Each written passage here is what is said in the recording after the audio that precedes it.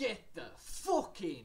No matter how bad we've been this season, we've done the double over Liverpool. Get in. I don't care how it was done, how bad we were in that game. Well, I do for the long run.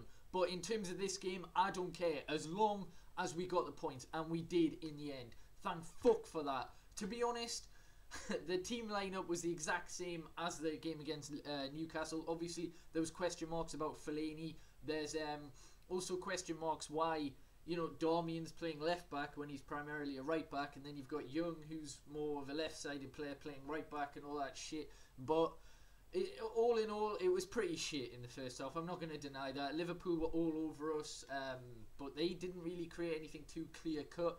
They had a couple of shots in the first half blocked or saved by David De Gea. David De Gea was man of the match. He made two very important saves in the second half, but in the first half there was really nothing in terms of United threat. Uh, Martial was like the only one that looked as though he could create something, and then right at the end of the half, he had a shot that was blocked by Sakho. Bar that, it was, it was piss poor to be honest. Even Liverpool's chances were taken from 30, 40 yards. Occasionally they break us down. They had some nice play where it was a bit of tiki taka, one touch thing, and Henderson blew it just wide.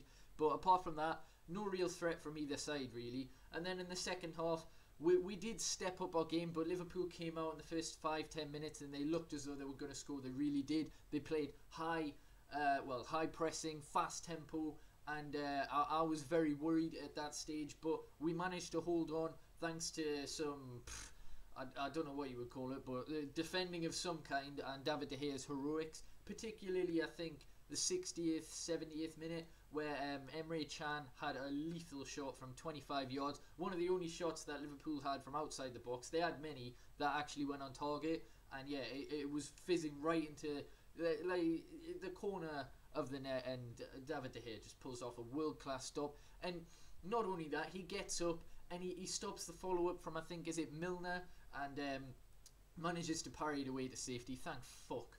Oh, oh man, if we didn't have De Gea, we'd be. We, we'd probably be where Chelsea are right now. So, you know, he deservedly got man of the match. It's just the key moments like that. David De Gea steps up where other goalkeepers would not, and that ultimately is what helped us get the points. Our corners are fucking wank. That's something I'm going to say now. No matter who we have, it's pathetic. We had three or four today, and Daley Blind, every single one got blocked, and it was so annoying. And then in the end, I, I think it might have been a corner that actually won us the game. Um, or was it a free kick? I, I, I can't remember.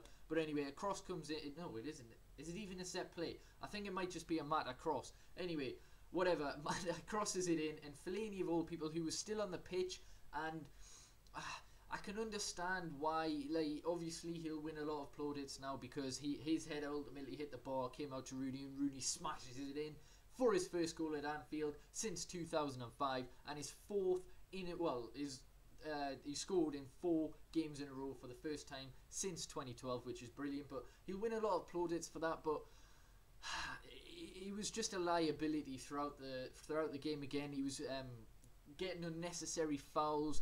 He was uh, he was marked early on by the ref because of a, a coming together with Lucas, and um, yeah, it was just disappointing to see and obviously the Liverpool fans noticed that he was, you know, getting a bit fired up, so they targeted him, and yeah, it was just.